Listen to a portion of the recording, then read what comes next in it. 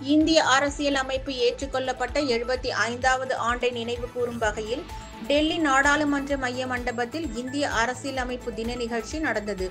நிகழ்ச்சியில் குடியரசுத் தலைவர் திரௌபதி முர்மு குடியரசு துணைத் தலைவர் ஜெகதீப் தன்கர் பிரதமர் மோடி எதிர்க்கட்சித் தலைவர் ராகுல் காங்கிரஸ் தலைவர் மல்லிகார்ஜுன கார்கே உள்ளிட்டோர் பங்கேற்றனர்.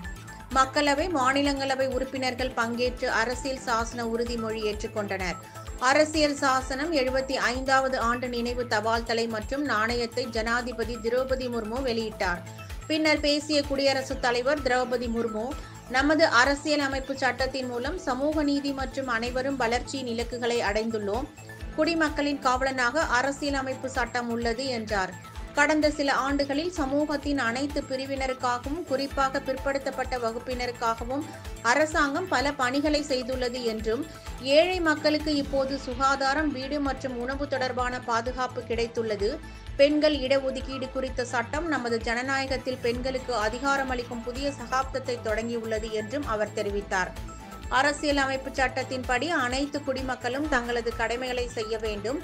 இரண்டாயிரத்தி நாற்பத்தி ஏழாம் ஆண்டிற்குள் வளர்ந்த இந்தியா என்ற இலக்கை அடைய அனைவரும் உழைக்க வேண்டும் என்றும் அவர் அப்போது கூறினார்.